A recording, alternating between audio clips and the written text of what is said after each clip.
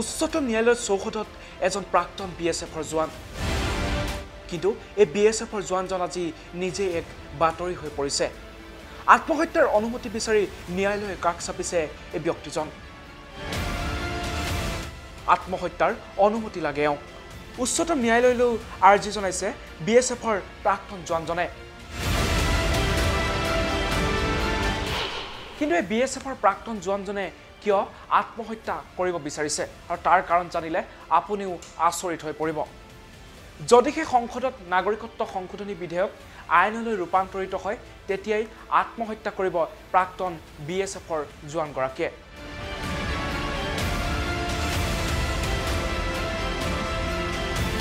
আচৰিত যেন লাগিলেও এই অদ্ভুত আৰ্জিলৈ আদালতৰ চৌহদত উপস্থিত হৈছে মৰিগাঁৱৰ এই প্ৰাক্তন বি এছ এফৰ জোৱানজন।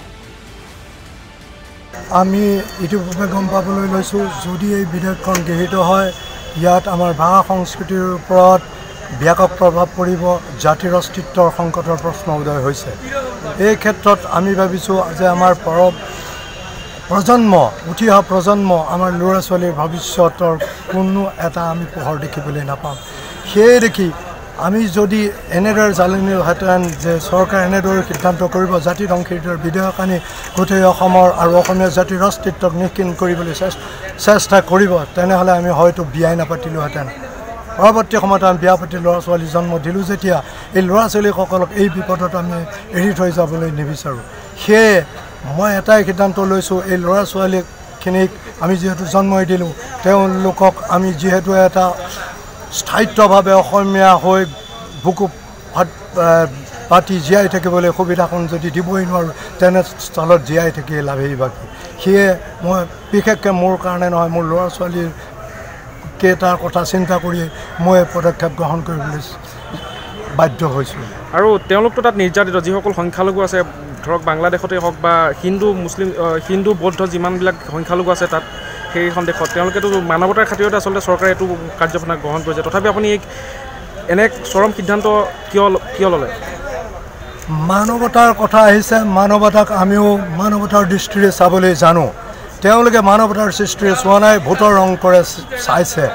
যদি মানৱতাৰ দৃষ্টিৰে চালেহেঁতেন অসমত ভাৰতবৰ্ষত কিছুমান আইন চলি আছে যেনে সাংবিধানিক আইন আৰু পাৰ্লিয়ামেণ্টাৰী আইন। এই আইনবিলাক অক্ষুণ্ণ ৰাখি তেওঁলোকে এই ব্যৱস্থাটো কৰিব পাৰিলেহেঁতেন।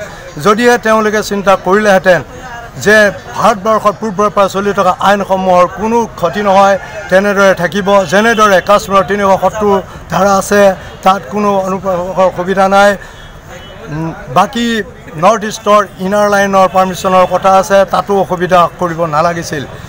ঠিক একেদৰে আমাৰ অসমত অসম চুক্তি আছে। এই গোটেইখিনিক যদি তেওঁলোকে বাদ দি পেলাই যদি প্ৰকৃতাৰ্থত মানৱতাৰ কথা চিন্তা কৰিলেহেঁতেন তেনেহ'লে আমি তাত সহমতি জনালোহেঁতেন। কিন্তু এতিয়া মানৱতাৰ বুলি নহয় কেৱল ভোটৰ খাতিৰত জাতি জলৈকে নাযাওক তেওঁলোকৰ কোনো চিন্তা নাই। তেওঁলোকৰ মাত্ৰ এটা কথাই লাগে তেওঁলোকক লাগে ভোট ভোট ভোট। শেষত তেওঁলোকে কি কৈছে?